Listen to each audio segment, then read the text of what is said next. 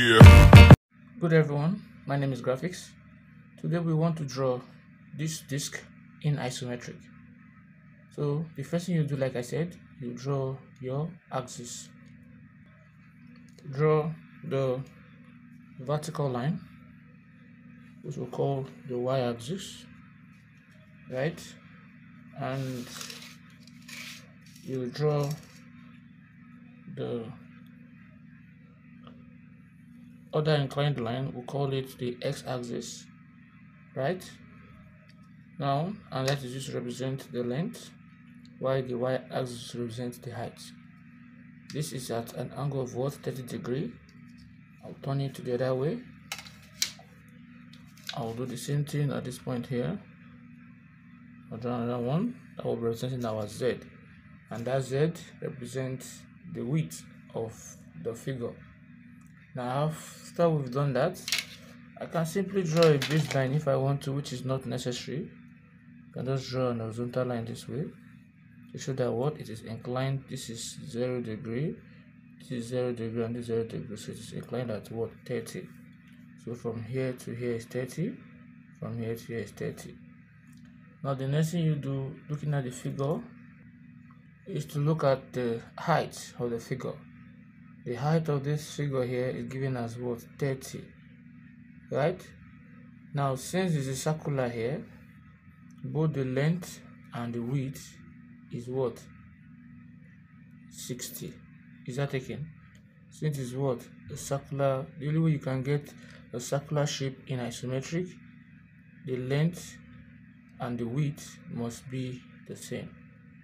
They have equal dimension so if my height is 30 so the length and the width is what? 60 so let's do that. So from this point here i'll start measuring. We say that my height is what? Is 30 so from this point here i will say this is we're starting from what? From zero. And this is what? 30 right? That again? Then the width the length is also what? Is 60 this is 60 this is the length 60 right? And the width is also what? 60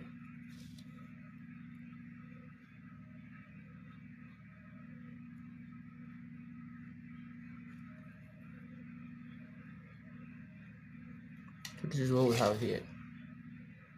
Now we are going to project those points upward. Project those points upward and make them form a box. How now look at what I will do I'll project here upward with the help of my set square. And I'll project the other point also upward with the help of my set square.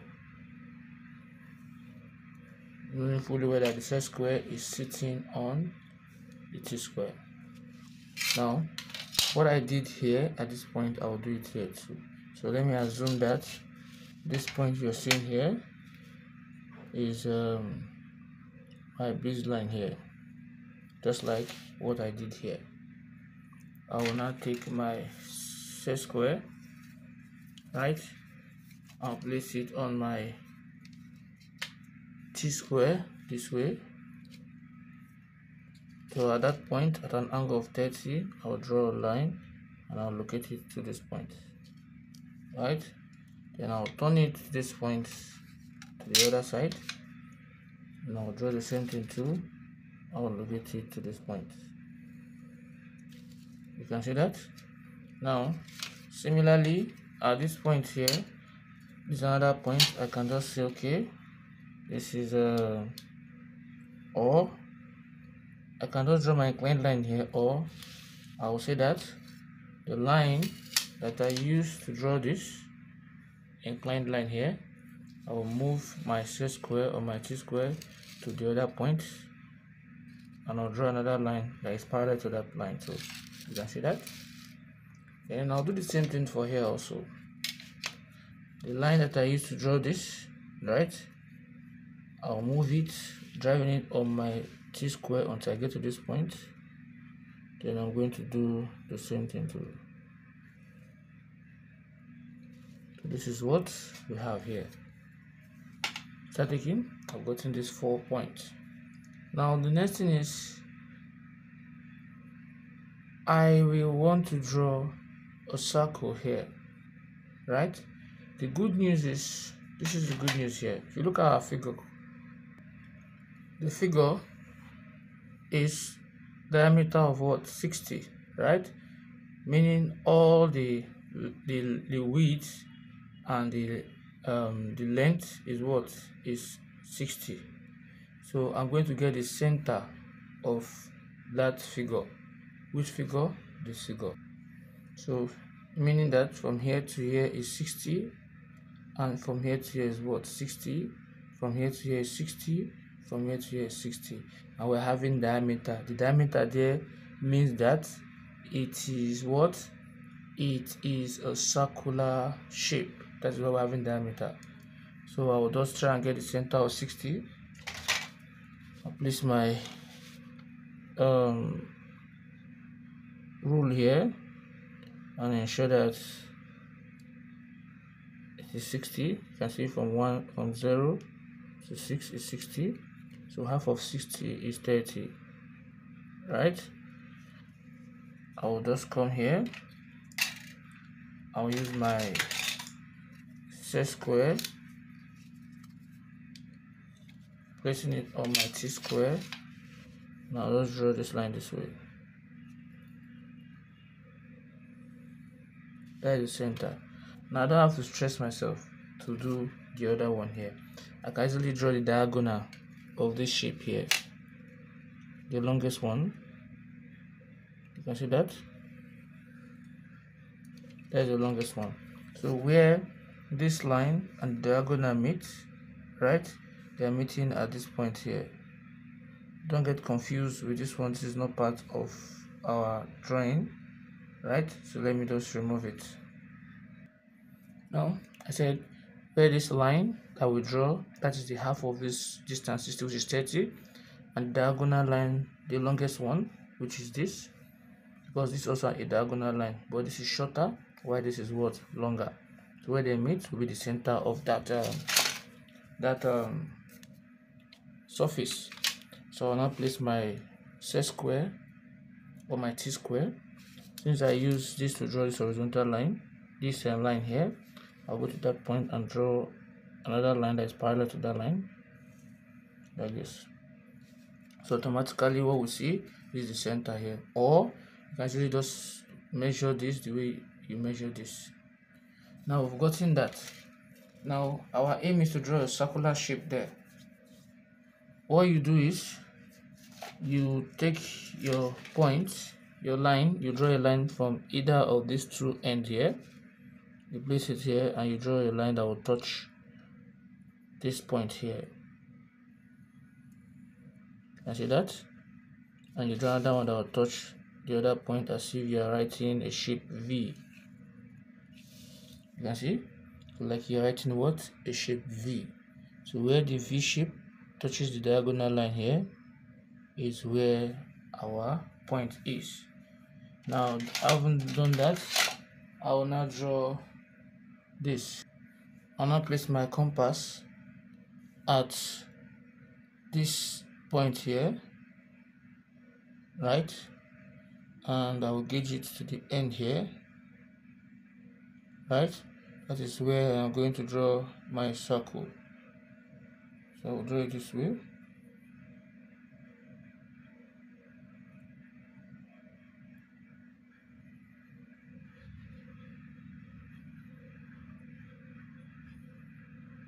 That's the first one. Now the same thing i'll come here also place it at this point also here. And i'll get it to this end here so i'll get it to this end here. This is where i will draw the other one.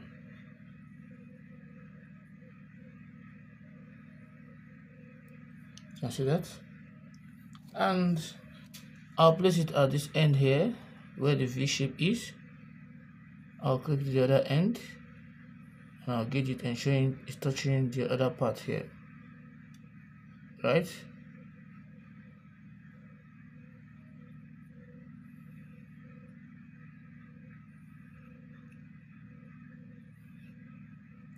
can see that now I'll turn the other point to the other end here. And I'll gauge it to this point here. And ensure that they are what? They are touching.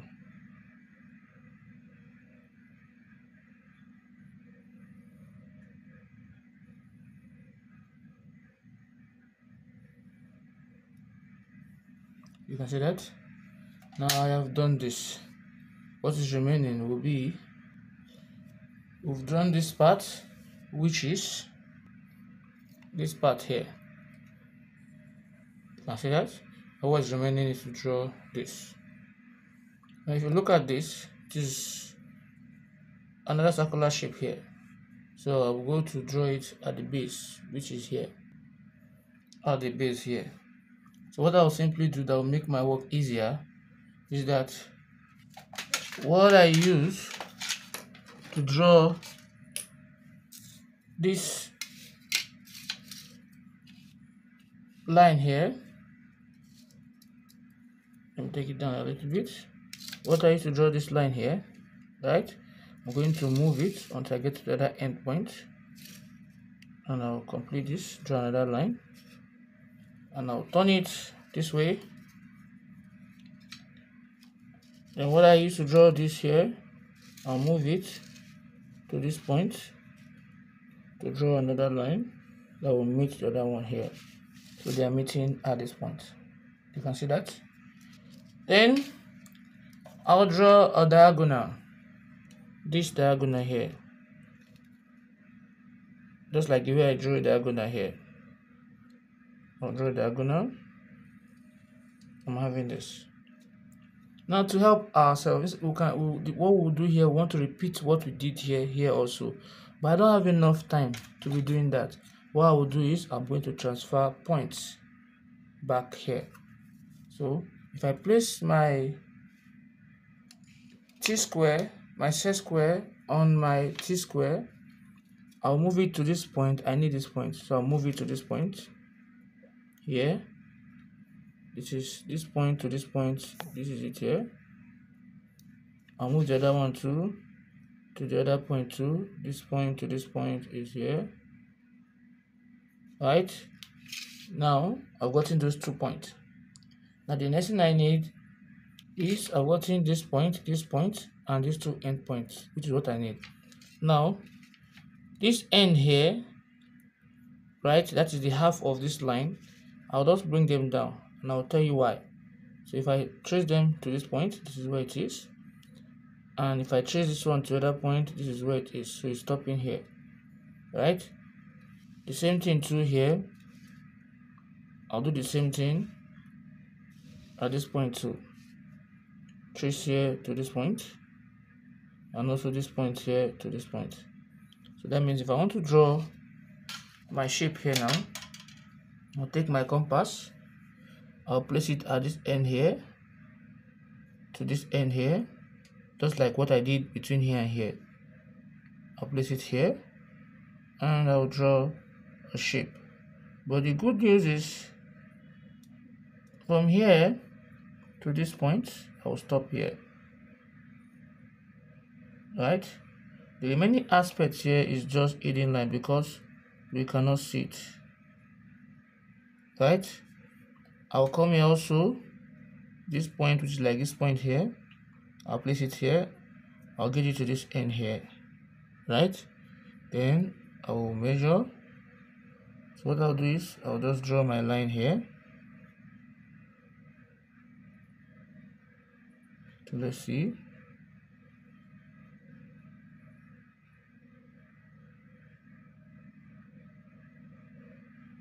Right then the remaining one is just an hidden line. Is that taking? Right? Now I'll now take it to this point here. Get it here. And see if they are meeting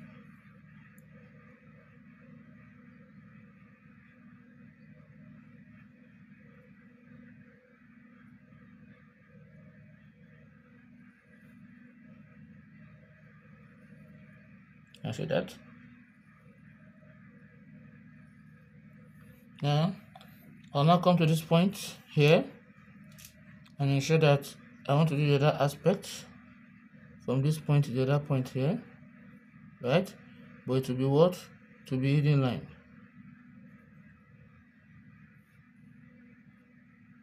So don't draw my hidden line? Because why am I using hidden line?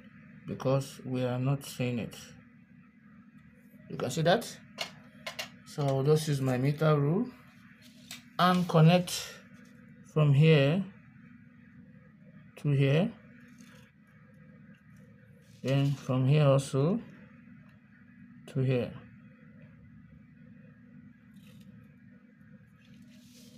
You can see that? So we have successfully drawn the shape that is shown at the top right corner of the screen right? So it is not necessary you do the inner one here. If I like I can remove it. Is that taken so this is the shape of the isometric projection of the disk and if you found this video helpful please don't forget to click on the subscribe button